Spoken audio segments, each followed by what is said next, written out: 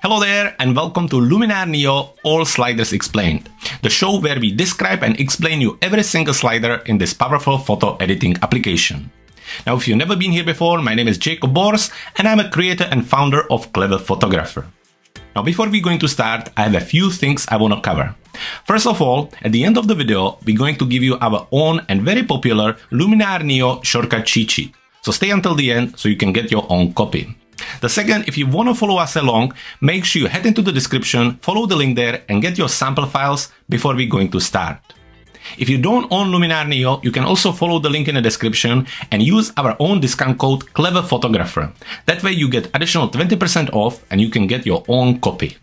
And finally, we want to ask you to like and comment on our videos and also follow our channel so we can keep creating content like this.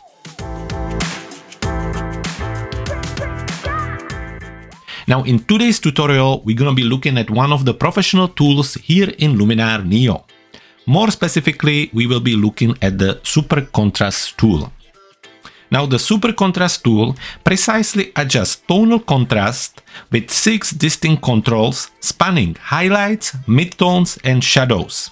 And it does allow you to finely tune the results. Now once again, we are here in Luminar Neo, we are in the edit module and we are all the way on the bottom of our toolbar here, focusing on the professional section with the Super Contrast tool. Now, to be honest, Super Contrast tool is one of my favorite tools here in Luminar Neo because when I work on my landscape photos, I really like to have a very detailed control over what I'm editing. And I have nothing against the traditional contrast slider, but I think these three sliders can give you so much more. So as always, we're gonna start by describing each one of the sliders and then we will jump into some examples and try to see how we can use this tool on them. To describe the sliders, we will use this example right here. And one more time, remind ourselves what's the difference between the highlights and shadows. Now, the highlights represent the brightest parts of your image. And when we look at the example, it will be the area here. In the opposite, the shadows represents the darkest areas of your image and it's gonna be on the other side of the image in this part. And then to cover it with the midtones, that's the area highlighted with the red uh, frame and that's the area in between those two. So starting with the three sliders we have available, we have the highlights contrast, midtones contrast and shadows contrast. Now these sliders refine the amount of contrast in highlights, midtones and shadows respectively. Now dragging them to the right increases the contrast. So let's push the highlights contrast and as you can see, when I push it around, you can see how it really only affects this part of the image. So this is where we push the contrast. Now, before we jump further, just a quick reminder, when we're using these sliders, I really want you to go ahead and push them as much as you can so you understand what they do to your image. After that, you can come back and refine them to your liking.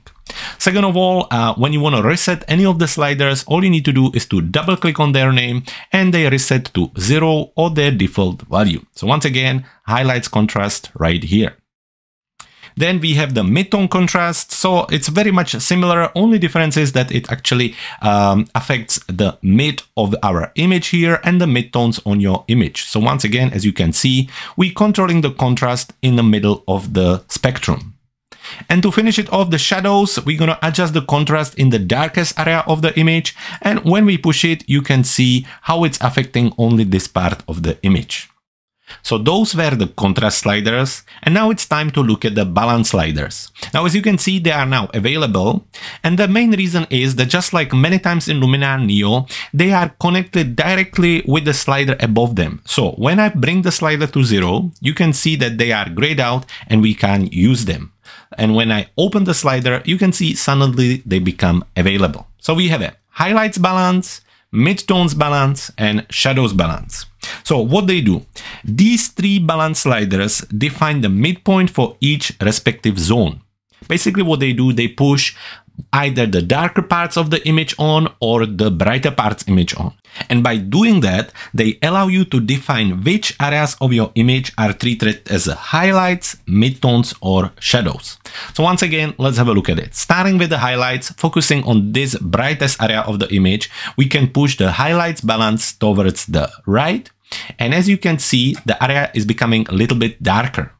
And when we push it the other way around, you can see the area is getting brighter. So again, we reset it by double clicking on it. Moving into the mid-tone balance. When we push the slider towards the right, the area is getting darker. When we push it towards the left, the area is getting brighter. And finally, with the shadows, when we push the shadows balance towards the right, the area is getting darker and really the darkness is pushing towards the center. And when we push it the other way around, you can see the area got a little bit brighter.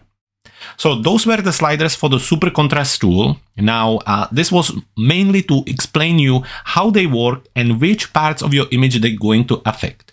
Now let's jump into catalog and let's try them on some real images. So now we are in the catalog module and as you can see we have four examples here. Now we're gonna be working on them and as just a quick reminder if you wanna follow me along all you need to do is to jump in the description then click there it will bring you to our Dropbox account and from there you can download the same sample files. So as you can see we have four different situations here. We have the landscape, portrait, black and white and interior design and we're gonna try the tool on each one of them. So let's start with the landscape image and what we need to do as always is to bring it into the edit module. Here in the edit module, once again, we are focusing on our toolbar and on the super contrast tool. So let's make sure we can see all of it and let's start by pushing the sliders. Now, whenever we work on the super contrast tool, I quite like to start by adjusting the highlights first, then the midtones and the shadows. So let's start by pushing the highlights. So when I do that, as you can see, I'm affecting the brightest area of the image. So when I push it all the way, you can see that we bringing some details back in the sky.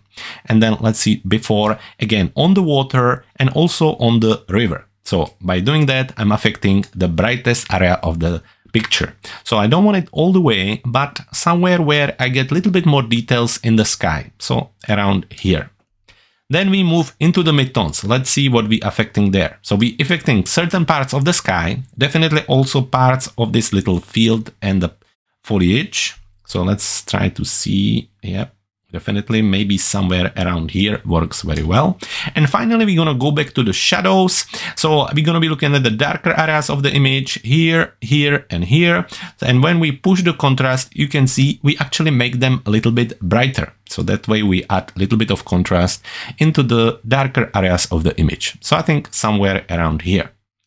Once I'm happy with the contrast sliders, then I go and try to shift the highlights balance. Once I'm happy with the contrast sliders, I go in and try to adjust the balance sliders. So starting again with the highlights, let's see. I don't want to make them brighter. If anything, maybe just a touch darker would be a good idea.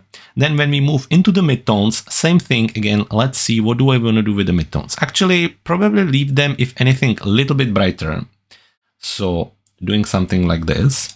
And then moving into the shadows, let's see, we can make them brighter and open them even more, or we can make them really dark. But I think we probably make them a little bit brighter. So something like this.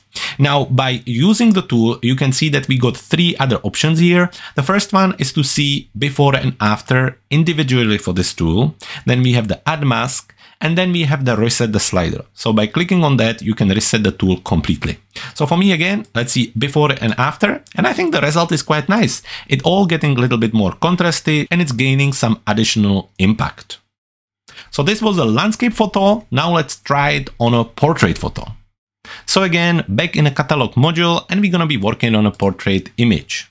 Bringing it into the edit module and coming all the way down to the super contrast tool. Now looking at the picture, it's very lovely, there is lots of beautiful details, but it's a little bit washed out. So let's see if we can help to it. So the workflow will be same again, we're gonna be adjusting the highlights first, then the midtones first, and we're gonna finish it with the shadows contrast first. So starting with the highlights, we're gonna try to remove some of the shine from the center of her face. So we can do that very easily by pushing the highlights contrast up a little bit. I think that's about right. So maybe somewhere around here. Then we move into the midtones and see what they do. So they bring some nice color into her cheeks and into the hair. Also a little bit of the eyebrows. So I think that works quite nicely. Let's just keep an eye on that. So somewhere around here. And finally, we jump into the shadows and see if that's gonna help. And I wouldn't do too much because we making the image brighter again. So let's just keep it somewhere around 16. Now again, we're gonna adjust the balance. So come back to highlights. Let's see the highlights balance. I think if anything, we're probably gonna bring it somewhere around 17. Then in the midtones, we can make the midtones brighter or darker, but I think we make them a little bit darker. And then in the shadows, I would actually make the shadows a little bit darker to make it a little bit more contrasty. So from here, once again, we're to check the before and after. And you can see we remove some of the washed out effect from the image and brought back some of the colors and again created a little bit more impact. So this is how I would use this tool on portrait image. And now let's see how it would work on a black and white image. The picture number three is representing the black and white image I was talking about, and we're gonna use this beautiful cityscape. So again, we're gonna bring it into the edit module, and this picture was already black and white. I haven't transferred it to black and white here in Luminar. However, if you would wanna do that, you can do that simply by using the black and white tool. So let's go back to our super contrast and again starting with the highlights. So let's push that and see what it's doing to us. So it's helping at this part of the image, definitely. And we just leave it somewhere around 50, 59. Then let's jump into the midtones and let's see. The midtones definitely making more contrast in the center of the image where there are some darker spaces, but I would probably push it somewhere around 70. I think that looks very, very cool. And to finish it off, we have the shadows contrast. And again, we just opening the shadows, but we will adjust that in a second. And from here, we're going to be going into the highlights balance and adjust that. Now we can make them darker. However, what I quite like is actually push them up and make it a little bit brighter. So somewhere around 20. Then we can jump into the midtones and see the midtones balance. Now we can brighten it up or darken it. And I actually probably like them a little bit darker. And to finish it off, we can have a look at the shadows and we can make them brighter or darker. But to be honest, I would probably leave them where they were. I think something like this. So again, let's have a look at the before and after. Before and after. The change is quite subtle and it really depends of what result you're trying to bring. You can make it super contrasty by pushing the highlights contrast all the way and bringing it up and then the midtone contrast up and make them really darker and see what you prefer. So that way you would get much more contrasty result and the difference would be something like this. So this would be before and this would be after. Again, very much artistic decision. However, great to know that this tool also work on black and white image and it can make a big difference. And to finish it off, we have example number four representing the interior design. So again, heading into the edit module and from here going into our super contrast tool. You already know the drill. We're going straight for the highlights contrast. So let's start by that. And I think that helps a little bit just to remove some of the shine and the extra glow. Moving into the midtones contrast, let's have a look.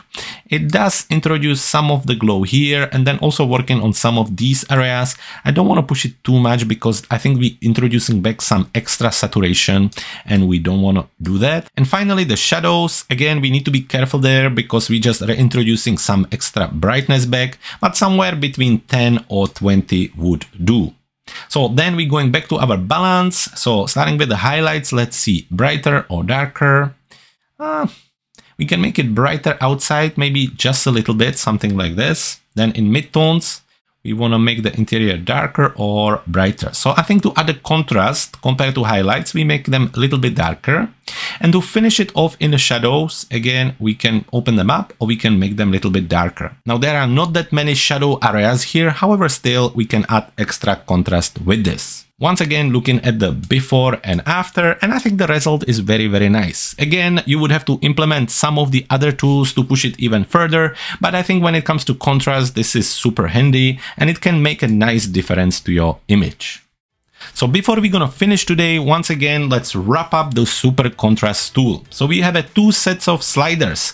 First of all, the contrast sliders that includes the highlights contrast, midtone contrast, and shadow contrast. And each one of them is very good at refining the amount of contrast in highlights, midtones, and shadows. Again, dragging them to the right increases the contrast in the specific area, as you can see. Then we have the second set of sliders, the highlights balance, midtones balance, and shadows balance. And these sliders uh, define the midpoint for each respective zone. They allow you to define the areas of your image and define how they are treated, if they are treated as the highlights, midtones, or shadows.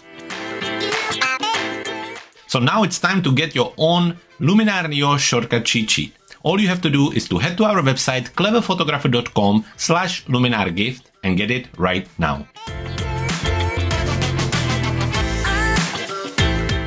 Thank you so much for watching. I hope you had a fun and I hope you learned something new. Please don't forget to follow our channel and also check out our other videos covering Luminar Neo. For today, thank you very much for watching. My name is Jacob Bors and I can't wait to see you in the next one.